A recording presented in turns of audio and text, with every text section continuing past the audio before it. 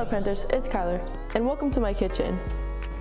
We're high school students, therefore it's time for us to start contributing to our Thanksgiving feast.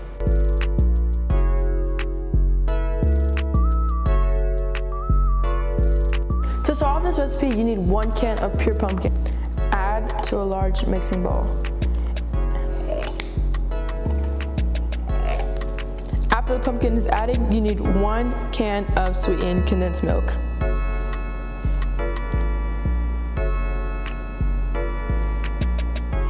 Then you're adding three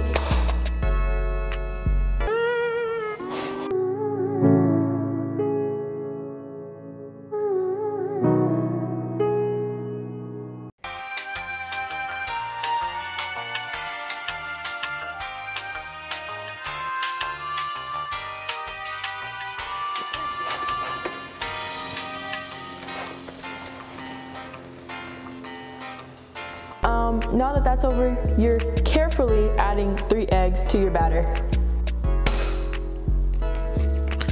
Lastly, you need is pumpkin pie spice.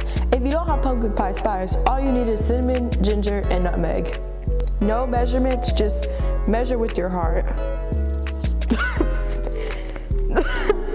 the last step for our batter is that I'm gonna mix it all into one.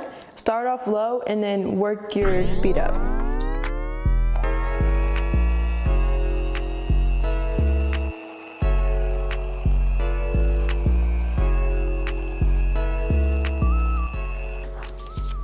No need to make crust when Walmart already has it.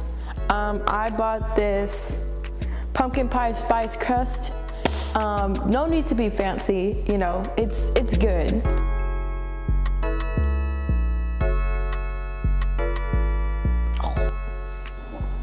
Now that your crust is completely filled up, you're gonna carefully take it to the oven and set it to 350. This is gonna bake for 40 minutes.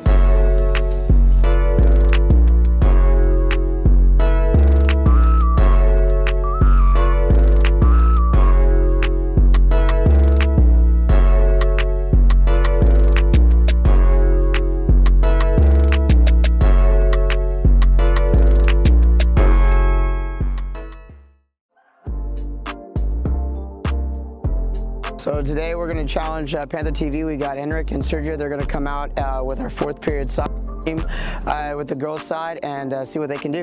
What's going on, guys? Um, today, Henrik and I are going to be um, commentating over this monstrosity of a soccer practice we had. Look at me putting on the green jersey. Yeah, I know it was good.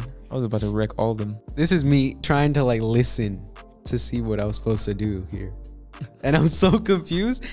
Oh yeah, this is when we were this getting is into it. Yeah, this is when he was explaining how to open up space and stuff. And then this is where the the magic starts. I ran into that girl on accident, man. I didn't see her because you were covering her up. No, she she was passing it to me, and I just like looked at it, and I was like, nope. I was just running around at this point, just like hoping to get the ball. this is me in shock, saying like, dude, they're actually good. Like they were really really good. Like we were in shock. they were too good. Look at that. You saw that defending? Let's get a replay on that one. Yeah. This Yeah, is my first go. Your first go. Let's see that pass. Let's watch the pass. With the left foot. Okay. Look at this pass to you. Let's see it. Let's see it. Let's watch it. Okay. He has control. He took a touch. And he missed. that touch was terrible. But hey. I scored. Dude, I was sweating. Yeah, you were basically saying like I was this close. I was close. After viewing the footage, we have come to the conclusion that me and Sergio should stick to filming and not be on a soccer field. Back to you, coach. Well, you can tell uh, Sergio and Henrik they haven't been uh, doing so much running. Uh, they had a little. They got to jump in and do a little scrimmage a little bit. Terrible It- touches. Little- some bad touches. Yeah. Some little bit touches. They got to work on their touches a little bit. Uh, then I had them jump into a simple uh, passing game. Some decent shots, you know, but we could work on a little bit of form. But they weren't too bad. They weren't too bad. They even got some goals, so that was that was pretty good too.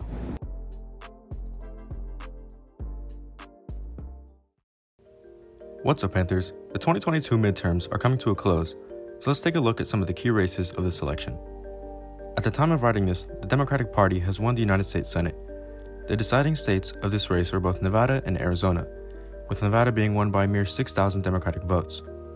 All eyes are now on the House of Representatives, where numerous seats are yet to be called. Since 218 seats are needed for a majority, Republicans are up 211 compared to Democrats 204, putting Republicans in the lead. But as of Sunday 11 13, many of the districts across the West Coast are far from being called, so there is a good chance for a Democratic skew in California's districts, which could decide the House majority. Looking away from the key races and results, the 2022 midterm elections show a brewing of a new American political climate. This election is one of many firsts. Massachusetts and Oregon have both elected the country's first lesbian governors, and Maryland has elected its first African American governor and third in U.S. history. In California, Democrat Alex Padilla has become the state's first Latino senator, and in Florida, Representative Maxwell Frost will be the first member of Gen Z elected into Congress. This year's midterm elections have shown the shift of a new generation in American politics, as the new generations are now becoming eligible to vote. And with all that being said, have an amazing day, Panthers. Panthers, the Health Occupation Students of America, or HOSA, is hosting a food drive that's happening right now. Until November 29th, you can donate non-perishable items to any health science classroom or the front entrance. Let's go to the officers to see what they have to say. Hi, my name is Michael Urbina and I'm the president of HOSA. Hi, I'm Annette Escalante, the reporter of HOSA. HOSA is a student-led organization that helps us volunteer in the medical community. But HOSA does not only help in the medical community, we also like to reach out and do volunteer expertise among all the fields. So HOSA is holding a food drive from November 9th to November 29th and we'd really appreciate any donations that you can give out. We are accepting non-perishable goods such as cans or anything that you think would have a long expiration date that we can help out the Katy community. We are offering 10 minutes per canned item, so that can add up to 18 canned items for three hours, which is our maximum. But anything's appreciated, and we are going to go into how we came up with this opportunity. Thank you to HSESD 48 for bringing this opportunity to us to help our community.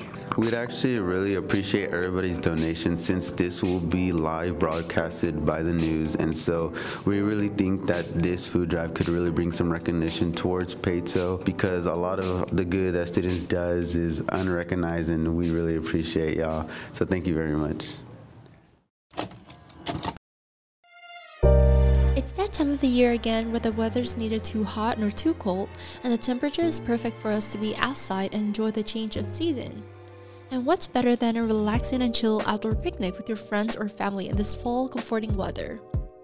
All you need is some fresh baked cookies, some snacks, a cute blanket to lay down on the grass, a hot brew teapot, maybe romanticize your life with some flowers, and someone to hang out with, or just by yourself should be fine. There are so many activities you can do while basking yourself in this cool fall weather, such as reading books, living in your own fantasy world and imagining yourself as the main character while having the time of your life in this aesthetically pleasing scenery. Tell me, what's more romantic than that? Okay, next, paintings. What's more fun than doing a switch painting challenge with your friends, where you're gonna switch paintings every 5 minutes until you both are satisfied with the result? I promise you, there's nothing more therapeutic than this. On to the best part pictures. Well, what's the point of creating this aesthetic Pinterest scene when you're not gonna take cute pictures in it? Come on, models, show me your pose. Now, it's time to enjoy our little hard work. Munch on those cute, tasty cookies and sip on that warm cup of tea. What a perfect way to end this little outdoor getaway picnic, am I right?